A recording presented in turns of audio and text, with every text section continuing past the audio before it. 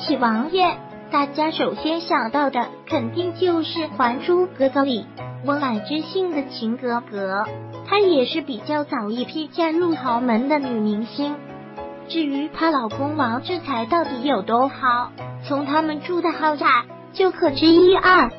室内游泳池、健身房，这些都是豪宅基本配置了。此外还有空中花园，在家就能看到故宫。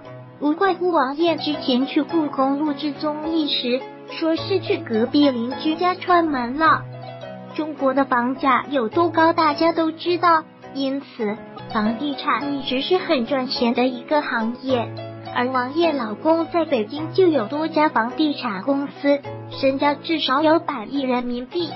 而富豪们通常都有个爱好，就是去赌场大展身手。王爷老公也曾在新加坡的滨海湾金沙酒店赌场三次豪赌，但手气不佳，输多赢少。第一次输了数百万新元，第二次赢了六十余万新元，第三次则输了一千万新元。要知道了一千万新元，折合成人民币大概是五千万左右。王爷老公这三次加起来，输了至少有五。六千万人民币啊，简直豪气冲天！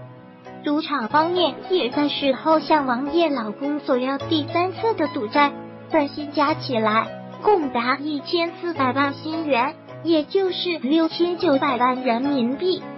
这笔钱对我们普通人来说是天文数字，对身家百亿的王爷老公王志才来说，肯定算不了什么。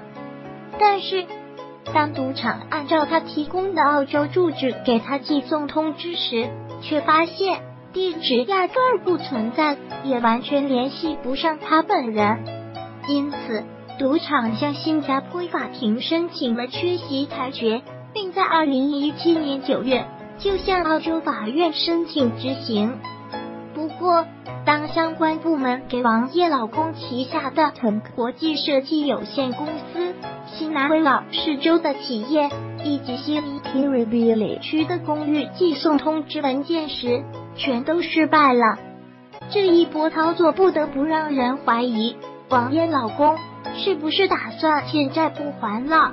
毕竟裁决通知送达了，他还不还赌债的话，赌场就能申请扣押他在澳大利亚的任何资产，直到还清欠款。但王爷老公近日回应了赌债于是，他用护照证明寄送通知期间他并不在澳洲，同时他声称赌债他已通过中介还清了。一名中国籍的中介李本胜可以做他的证人，但金沙赌场那边却并不承认有中介，也否认金沙向中介收取赌客拖欠的贷款额。事情发展到这一阶段。已经变得扑朔迷离了。不过，法庭那边已经撤销了缺席裁决，而王艳老公也成功上诉，获得了和金沙赌场打官司的机会。案件将于明年开庭。虽然老公的豪赌引来不小的麻烦，但看王艳微博可以发现他的生活并不受影响，甚至还有好心情去录制综艺。所以想来这笔赌债。在他们眼里完全不是事儿，小八也觉得按王爷老公的身家，完全没必要拖欠赌债。对此，大家怎么看呢？